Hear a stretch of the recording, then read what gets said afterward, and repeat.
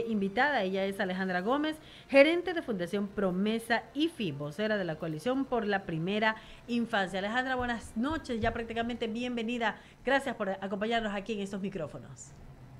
Buenas noches, Wendy. Encantada de estar aquí. Saludos a todos los oyentes del programa. Vamos a arrancar esta entrevista. Eduardo Mendoza Estrada, por favor. Eh, ¿Cómo está? ¿Cómo le va, eh, Alejandra? La molesto preguntándole justamente respecto del tema de lo que está haciendo la fundación suya eh, en pro del Ecuador. Cuéntenos un poquito y, qué, qué, pues, qué situación le merece. Cuénteme, qué opinión le merece. Cuéntenos un poquito. Claro que sí, Eduardo. Muchas, muchas gracias por el espacio y muy buenas noches. Em, yo soy gerente de Fundación Promesa IFI, pero somos parte de la coalición Ecuador por la Primera Infancia, que es una coalición de 26 organizaciones de la sociedad civil, Em, organizaciones de diversas índoles del sector privado, ONGs, cooperación internacional, em, etcétera, y estamos impulsando un proyecto de ley en conjunto con también asambleístas, con diferentes organismos em, de la sociedad civil, el proyecto de ley por la primera infancia que justamente ha sido trabajado ya por muchos años, incluso antes de la pandemia, y últimamente eh, se han unificado eh, diferentes proyectos de ley, tres proyectos de ley específicamente de la asamblea anterior, y este año esperamos que, el, 10 de enero podamos presentar nuevamente el proyecto unificado a la, Asamblea Nacional em, electa. Em, este proyecto de ley de la primera infancia incluye o incorpora, es una, una política pública de Estado para em, continuar y sostener eh, los avances que se han realizado ya eh, en, temas de primera infancia, pero sobre todo para priorizar y para asegurar que, que este grupo tan vulnerable y, tan eh, sensible que es la primera infancia, que viene desde la etapa de gestación hasta los seis años de edad, eh, pueda políticas públicas en, el país como, como prioridad de, gobierno y de, y de Estado en general.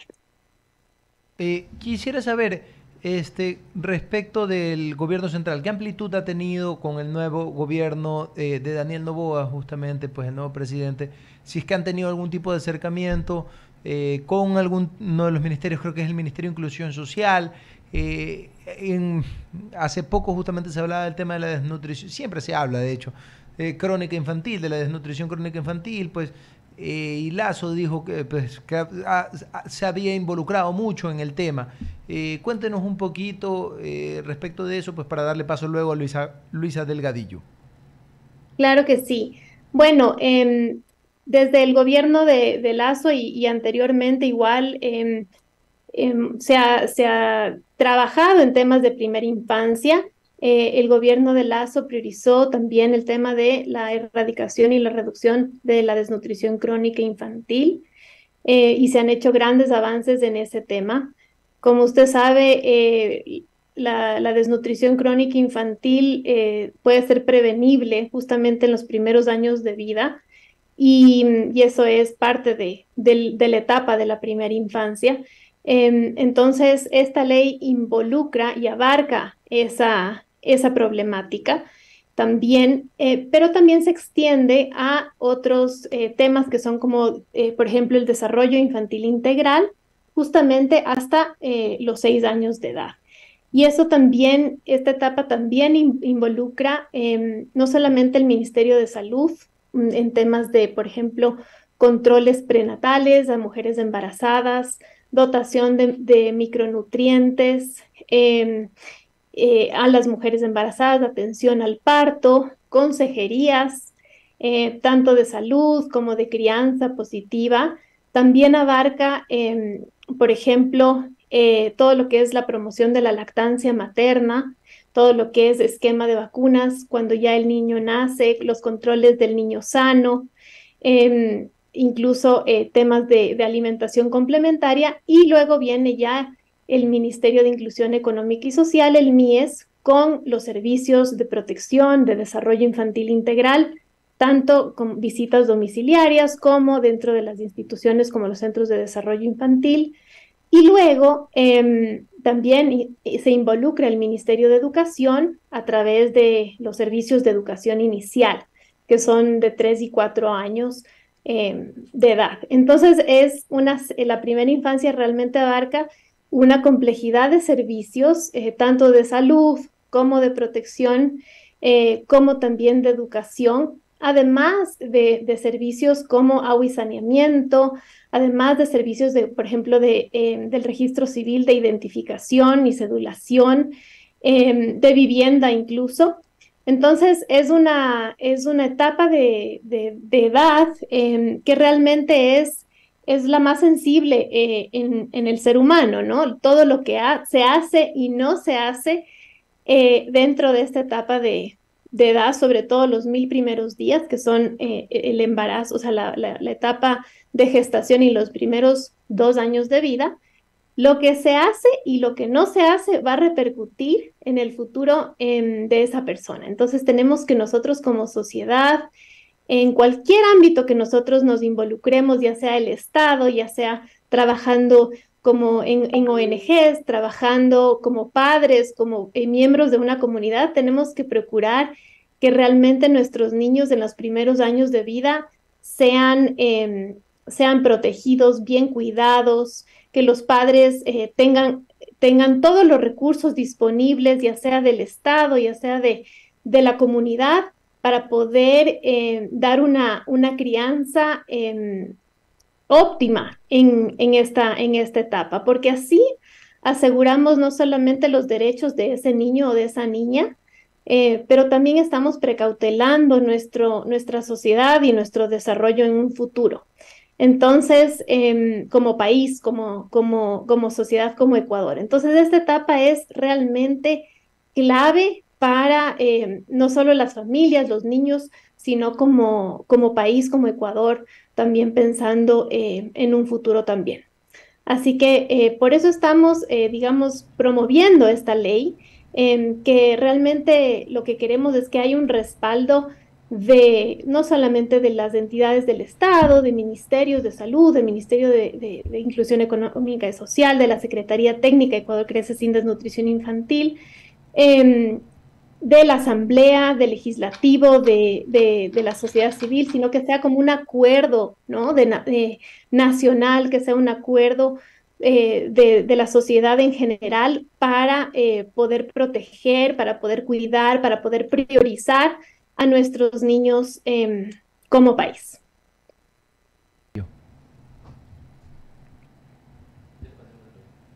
Luisa. Gracias, Eduardo. Eh, Alejandra, eh, más allá de, esos eh, nobles ideales, ¿cuál es la realidad de la niñez? hemos visto lo que hizo el presidente Lazo en materia de desnutrición infantil, pero seguramente usted, como la persona que lidera la, la fundación que trabaja en pro de la niñez, ha tenido acceso a estadísticas y a datos reales de cuál es la condición de nuestros niños en esa etapa clave hasta los seis años de edad. ¿Cuál es la realidad palpable? Aquella que, que a lo mejor no siempre se ve, ya sea por temor, por vergüenza o por lo distante que muchas veces están muchas familias incluso incomunicadas. ¿Qué dicen esos datos y estas estadísticas eh, de la realidad de la niñez ecuatoriana? Sí, bueno, hay alrededor de, dos millones eh, de niños en, la primera infancia en Ecuador, más o menos del 11% de la población ecuatoriana, y cada año nacen alrededor de 300 mil niños en nuestro país. Sin embargo, em, todavía nos falta mucho como país, como sociedad, em, eh, para asegurar eh, todos los derechos y todos los servicios a estos niños. Eh, tenemos una, una cobertura eh, todavía muy eh, pequeña en temas de servicios, por ejemplo, de, de desarrollo infantil integral, también más o menos del 30%, em, también 30% más o menos de educación inicial, por ejemplo. Em, y en salud queremos realmente expandir como, como país, digamos, esas coberturas de, controles prenatales durante el embarazo eh, y también de atención al parto, de, em, y de obviamente de, controles eh, del niño sano, porque cualquier problemática, realmente el enfoque está en la prevención, no en el tratamiento. ¿no es cierto? Al Estado y como sociedad y como familias nos cuesta muchísimo más eh, una, una, condición de desnutrición crónica infantil, una enfermedad, que la, prevención realmente de, esa, de esas condiciones eh, de salud o de desarrollo. Entonces, eh, la idea es justamente prevenir que no haya estas condiciones de, de, desnutrición crónica infantil. En este momento, uno de cada tres niños en Ecuador sufre de desnutrición crónica infantil y es un, es una, es un número muy alto. Em, y esto también demuestra eh, la brecha y las inequidades sociales, económicas que existe en nuestro país actualmente. Entonces, em, justamente esta ley va a eh, promover eh, el, cierre de estas brechas, la atención prioritaria a esta población que realmente tiene eh, digamos, la, realidad que, usted menciona es, es tiene, mm, digamos, la, los más afectados tienen una, tienen una cara en la ruralidad, ¿no? En la población rural, en la población indígena, sobre todo de la Sierra Central y de, y de la Amazonía ecuatoriana. Entonces, justamente la idea es enfocarnos en, atender a los más necesitados, a las familias más aisladas, eh, y no solamente atender y, tener una cobertura, sino realmente unos servicios de calidad, eh, porque es importantísimo ese componente de, calidad, eh, no solamente de, ser atendido por ser atendido, sino que realmente tenga un impacto en la salud esa atención. Entonces, claro, la idea es, es, digamos, continuar y sostener los avances que ya se han realizado en los últimos años en el tema de desnutrición crónica infantil.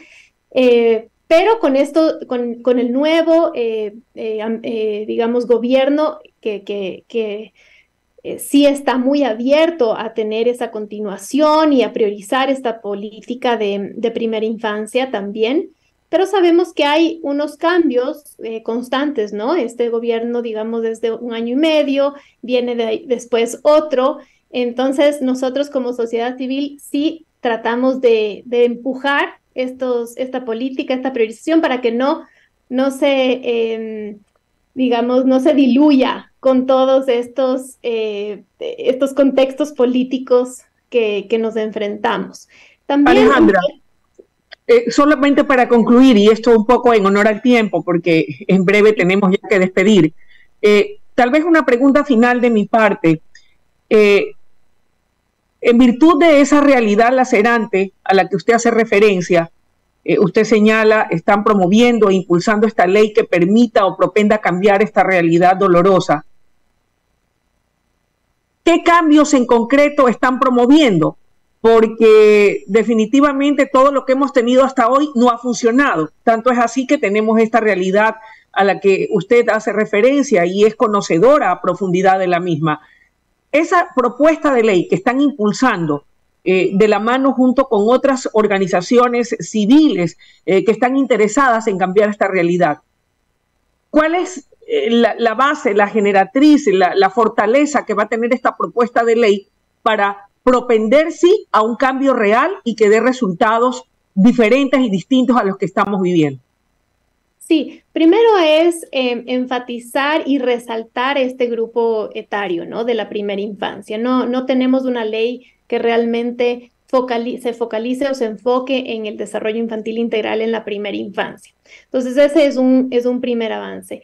Segundo, eh, la importancia de la, de la intersectorialidad y la interinstitucionalidad, porque no podemos trabajar como salud aparte, como protección aparte, educación, agua y saneamiento, sino que realmente estudios científicos nos demuestran que la atención simultánea, integral y oportuna eh, en todos estos servicios a, un niño o a una niña durante su primera infancia es la clave del éxito para su desarrollo cognitivo, psicomotriz, emocional, social. Entonces, ¿qué significa eso? Que eh, no podemos dar el esquema de vacunación muy tarde. O sea, tenemos que darle la vacuna que, le corresponde a los seis meses, al año, a los dos años. No podemos darles todas a los cuatro años porque entonces ya, ya no nos sirve. No podemos darle, digamos, eh, los servicios de desarrollo infantil ya cuando cumplen eh, cuatro o cinco años, sino que tenemos que darles desde antes. Entonces, es, es eh, realmente un, la clave del asunto es darle estos servicios oportunamente, simultáneamente y de manera coordinada y, e integral. Entonces, esta ley realmente propone un modelo de gestión, un modelo de atención integral, interinstitucional, em, que, bueno, ya se ha estado dando en estos últimos años, pero realmente eh, trata de, delimitar el paquete priorizado que se llama para la primera infancia, que incluye todos estos servicios y todas estas instituciones que, le acabo de mencionar, para que pueda realmente incidir en el desarrollo integral del niño. Es, esa es una em, otra, otra novedad de, esta, de este documento, de esta ley, de este proyecto de ley unificado, y también que hay eh, diferentes niveles de de implementación. Entonces hay unos mecanismos al nivel central, hay otros mecanismos a nivel cantonal y local. Eh, se incluye también el, la incidencia de la sociedad civil, del Estado em, y de otras instituciones y otros actores. No solamente eh, estamos, eh, digamos, promoviendo la, los servicios del Estado, sino también como complemento la sociedad civil, las ONGs que trabajan en el, en el territorio y que pueden también apoyar a la implementación y al éxito de esta política pública. Y em, también eh, conocer que hay una integralidad y, no solamente son servicios por servicios, sino que servicios de calidad, servicios con calidez, con, con afecto, con humanidad, porque realmente no eh, viendo al, niño como como un sujeto de derechos y viendo al niño como una persona, no solamente como un número, eh, sino que realmente eh, lo, que, lo que incide y la diferencia eh, clave es justamente eso, ¿no? Que, que sean atendidos y que, que, tengan todos los servicios em, con mucha humanidad y con mucho afecto y con mucho cariño, que eso nos, nos, beneficia a todos. Así que... Y hará la diferencia. Gracias de mi parte, estimada Alejandra. Wendy. Gracias, Luisa. Un gusto. Agradecerle por haber estado con nosotros en estos micrófonos. Va a ser siempre grato poder conversar sobre estos temas tan importantes para el país, para la niñez y para todos aquellos a quienes resulten beneficiados de estas buenas iniciativas. Gracias, Wendy. Un gusto y gracias por el espacio. Que gracias. Estén muy bien. 6 de la tarde con 53 minutos, mi querido Eduardo. Luisa, tenemos que despedirnos sin antes decirles que estamos